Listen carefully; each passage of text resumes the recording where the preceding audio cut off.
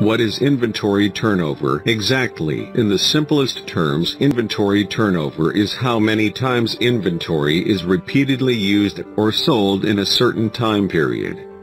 This is usually a year, but it may differ depending on your business timeline and needs. To put it another way, it's the ratio between sales made and inventory held in stock. It is calculated based on the cost of inventory, but to keep things simpler here's an example just based on units.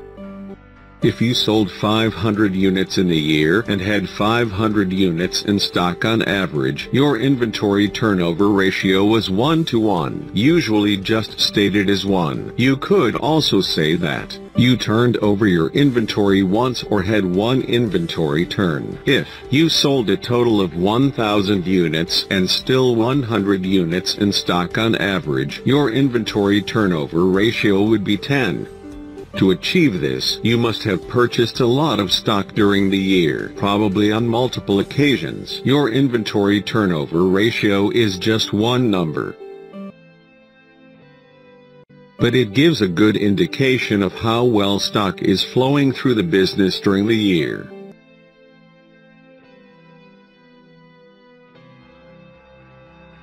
Once you have your ratio, it can be compared to industry averages to see how your business is measuring up if you find you have a low inventory turnover ratio. It implies that you have poor sales and excess inventory that you need to get moving. If, however, you have a high inventory turnover ratio, this indicates strong sales or Perhaps large discounts. High inventory turnover suggests that you are selling products quickly, which is an indicator of good business performance overall.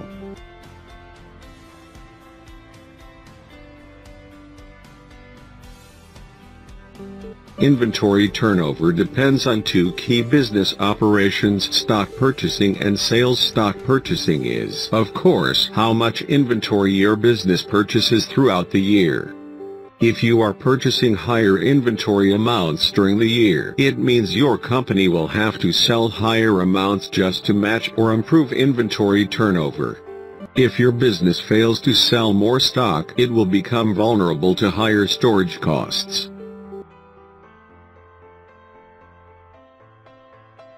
Let's do an example to calculate the inventory turnover ratio. First of all assume these figures for your business. You need to know your cost of goods sold and your average inventory.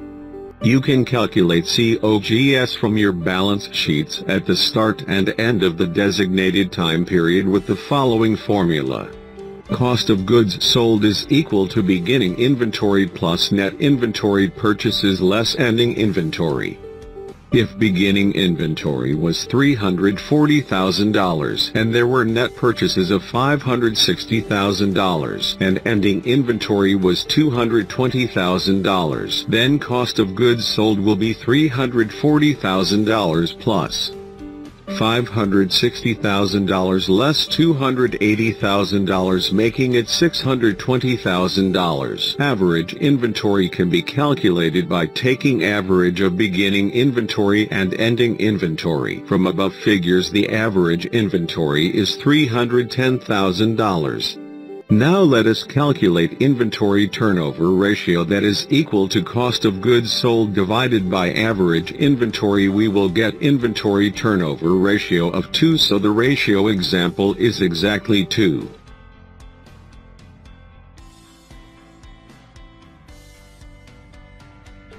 What is the best inventory turnover ratio? For many e-commerce businesses, the ideal inventory turnover ratio is about 4 to 6. All businesses are different. Of course, but in general a ratio between 4 and 6 usually means that the rate at which you restock items is well balanced with your sales.